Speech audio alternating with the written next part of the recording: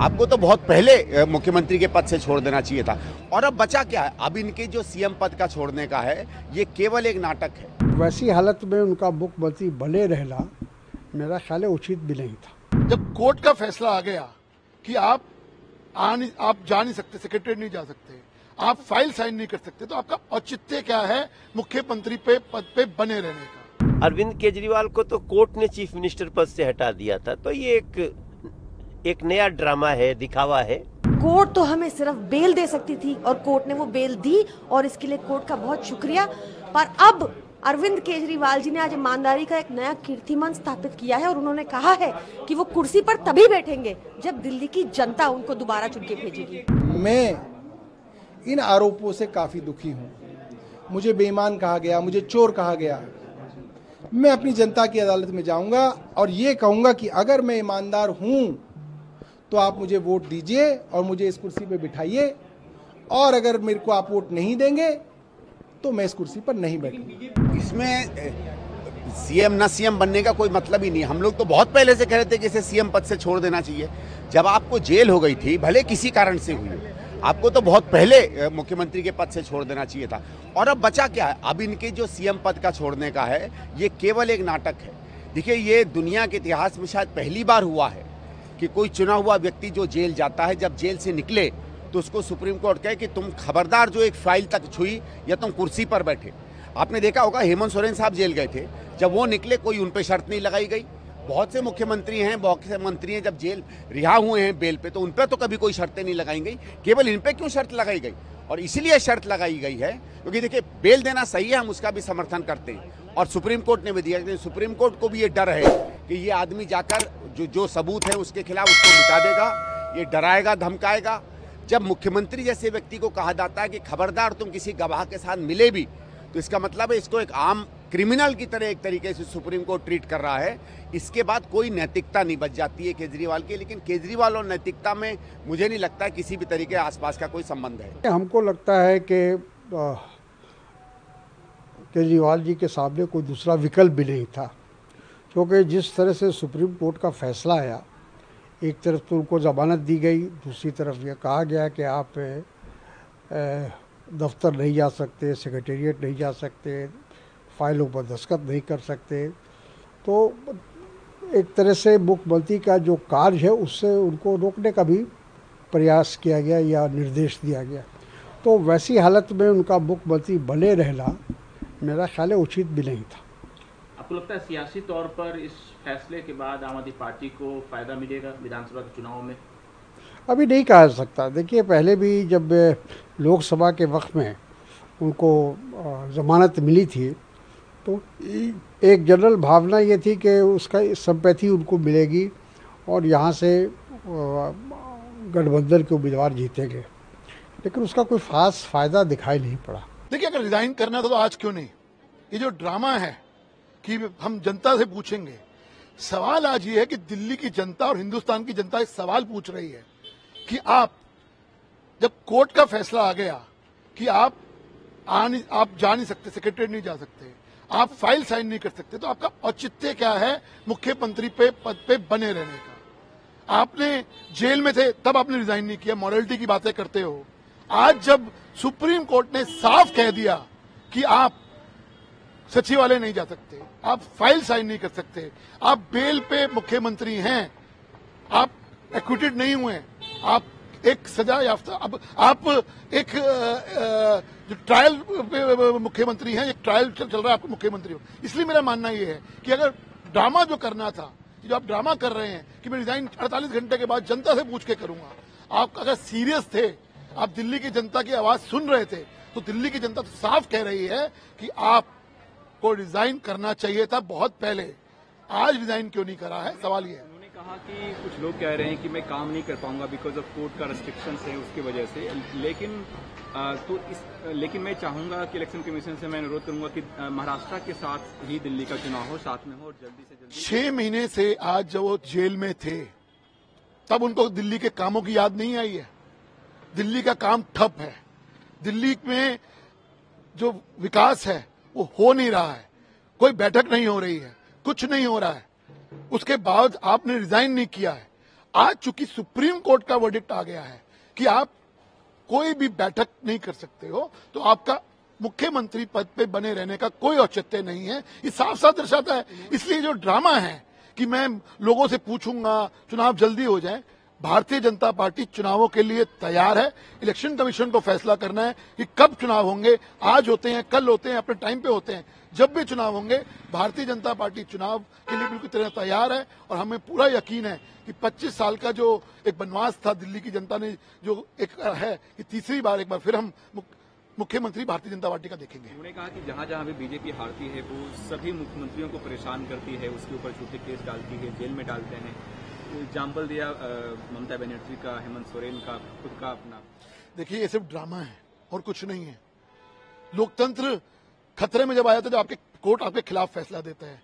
लेकिन वही लोकतंत्र की जीत होती है जब आपके आपके पक्ष में फैसला होता है। इसलिए मेरा मानना ये है कि सब कुछ है, ये सिर्फ़ ड्रामा है। आज दिल्ली की जनता सवाल पूछ रही है कि पिछले छह महीने से दिल्ली का विकास कार्य ठप है आपके जेल में होने की वजह से। और अब आप चूँकि बेल पे बाहर आए हैं और कोर्ट ने सख्त टिप्पणी करी है और सख्त फैसला दिया है कि आप कोई फ़ाइल साइन नहीं कर सकते हो। आप सेक्रेटरीट नहीं जा सकते हो। इसलिए ये सब कुछ जो है, एक ड्रामा है और कुछ नहीं है। आपको अगर रिजाइन करना था तो आज क्यों नहीं किया? सवाल ये है। अरविंद केजरीवाल को तो कोर्ट ने चीफ मिनिस्टर पद से हटा दिया था। तो ये एक एक नया ड्रामा है, दिखावा है।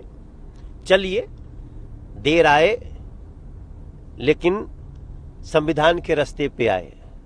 होना तो ये चाहिए था कि जिस दिन आप जेल जा रहे थे, इस देश के इतिहास में जब भी चीफ मिनिस्टर जेल जाने की नौबत में आया है तो उसने इस्तीफा दिया है ताकि प्रदेश चलता रहे।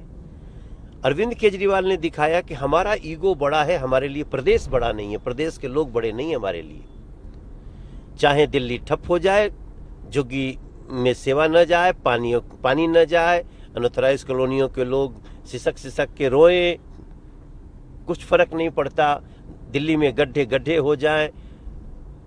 अरविंद केजरीवाल को ऐसा लगता था, वो चुने नहीं गए हैं, जैसे लगता वो राज गद्दी पर बैठे हैं।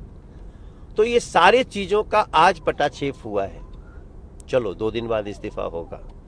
लेकिन ये संविधान की बहुत बड़ी जीत हुई है।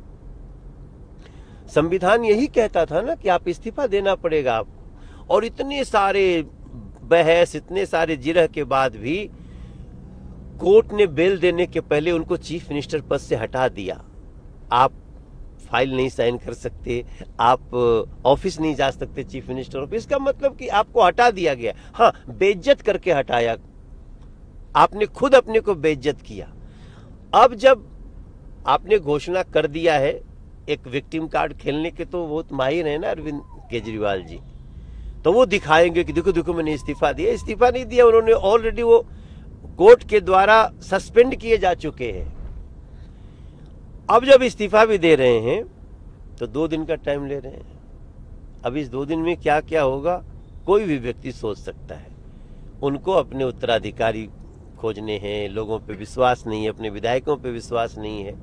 बहरहाल, जो भी होगा, देखना इंटरेस्टिंग होगा। लेकिन एक चीज़ अंत में बोलूँगा। उन्होंने एक बात कही कि मैं जाऊँगा गलियों में। मैं बड़ा खुश हुआ।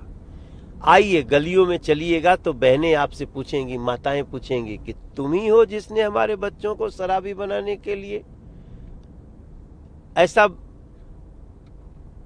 नियम लेके आए थे? तुम ही हो जिसने कि शराब घोटाला किया? तो ये सवाल अरविंद केजरीवाल से दिल्ली की जनता पूछ पाएगी कि आज दिल्ली के हर सड़क पे गड्ढे क्यों हैं? ये सवाल पूछ पाएगी दिल्ली की जनता। कि आज टूटी सड़कें क्यों हैं और दिल्ली को, दिल्ली के इन सवालों का अरविंद केजरीवाल जी को जवाब देना पड़ेगा। आज एक नया कीर्तिमान स्थापित हुआ है ऑनेस्टी का, ईमानदारी का। आप सोचिए, एक ऐसे मुख्यमंत्री जिन्होंने अपनी सरकारी नौकरी, कमिश्नर की नौकरी, इनकम टैक्स कमिश्नर की नौकरी छोड़ी और दिल्ली की झुग्गियों में काम किया, वो उनके ऊपर ऐसे झूठे आरोप लगाए भाजपा ने तो उनको कितनी तकलीफ़ होगी? अब वो ये मामला कोर्ट में तो बहुत लंबा समय चलेगा। कोर्ट तो हमें सिर्फ़ बेल दे सकती थी और कोर्ट ने वो बेल दी और इसके लिए कोर्ट का बहुत शुक्रिया। पर अब अरविंद केजरीवाल जी ने आज ईमानदारी का एक नया कीर्तिमान स्थापित किया है और उन्होंने कहा है कि वो कुर्सी पर तभी बैठेंगे जब दिल्ली की जनता उनको दोबारा चुन के भेजेगी।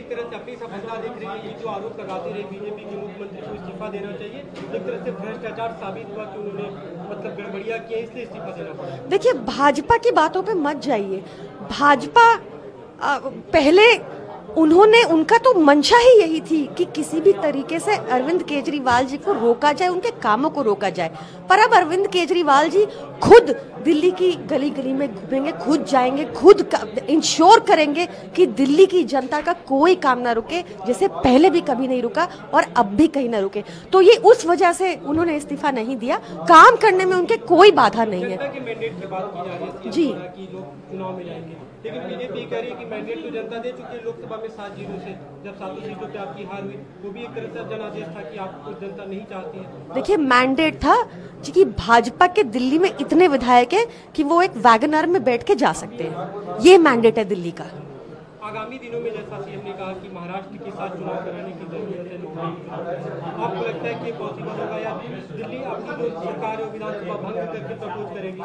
देखिए बार बार भाजपा बैकडोर से दिल्ली में पावर छीनने की कोशिश में जुटी रहती है।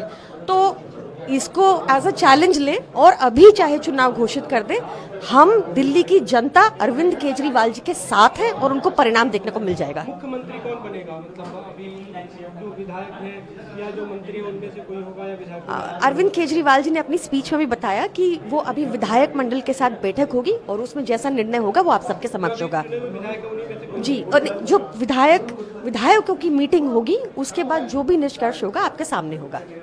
विधानसभा भंग नहीं होने जा मुख्यमंत्री बनेगा। मुख्यमंत्री जी ने खुद ऐलान किया कि वो दो दिन बाद इस्तीफा देंगे और उनकी विधायकों के साथ मीटिंग होगी।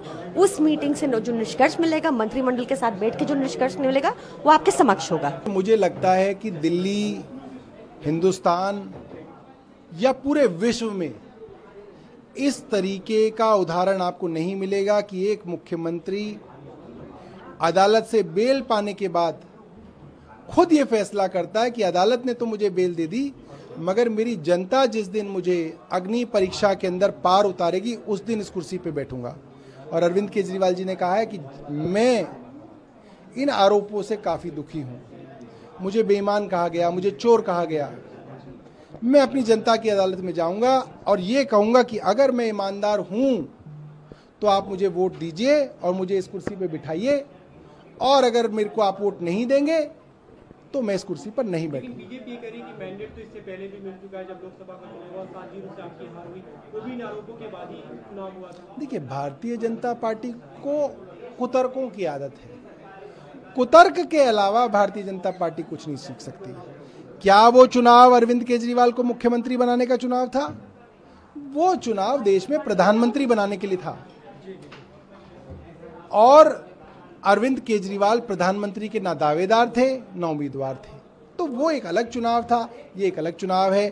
पिछले तीन बार से दिल्ली की जनता, भारतीय जनता पार्टी को लोकसभा में वोट देती है और विधानसभा में तीन सीटें देती है, आठ सीटें देती है। तो भारतीय जनता पार्टी को सच्चाई मालूम